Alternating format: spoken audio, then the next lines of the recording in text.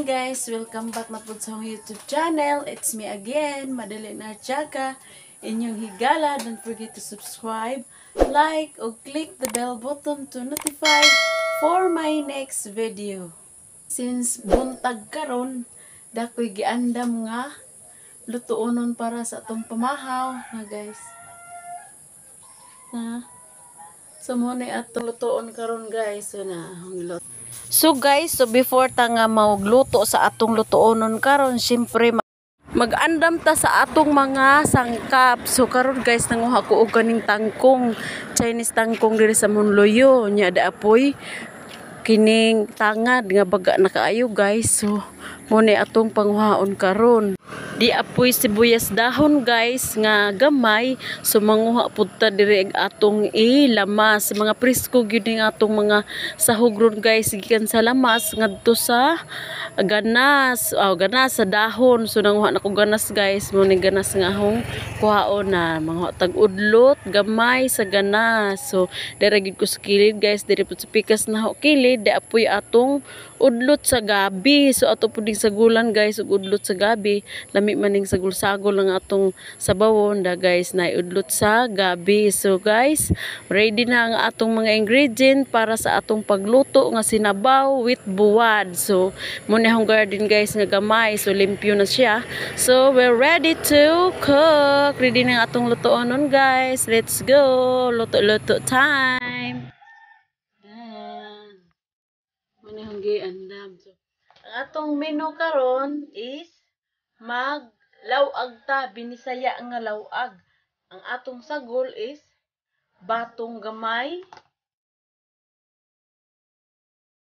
ganas gamay kanang dahon sa kamuti na ganas gamay tapos Chinese tangkong gamay o udlot sa gabi udlot sa gabi po gamay so muna siya guys udlot sa gabi.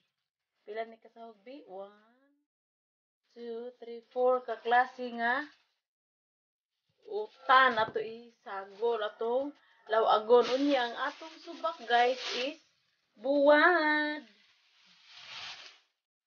Muna ato isubak guys sa atong nilawag buwad. So lami ni guys.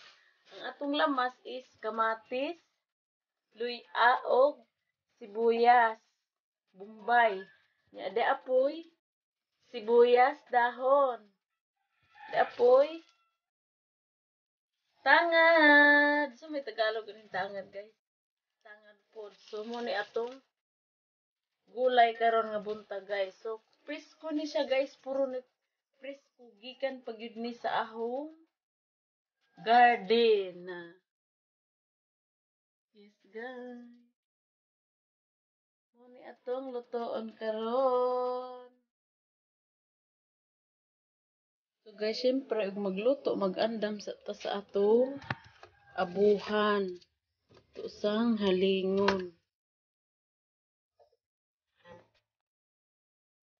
Haling sa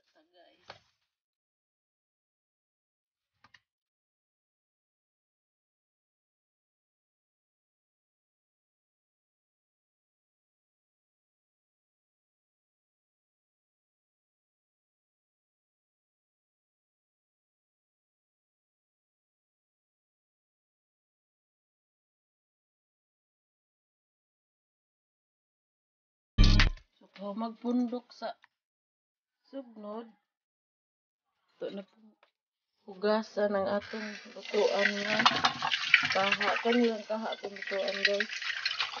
Di na lang sa atong kuan. Kaldero kay ang dako kayo. Kani na lang kaha.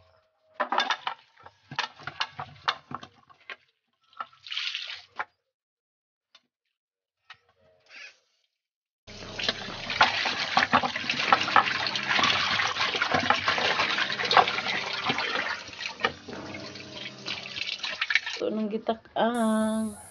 Ito nang takpan. So while naghuwat ta guys nga ma bukal ato po ning hagpata ng atong utan.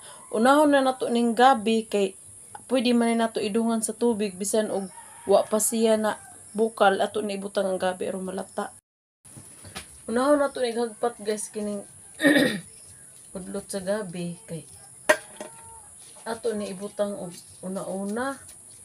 Kay kinahanglan ni siya nga palaton. Palaton ni guys. So ato ni una og butang adto sa kabukan.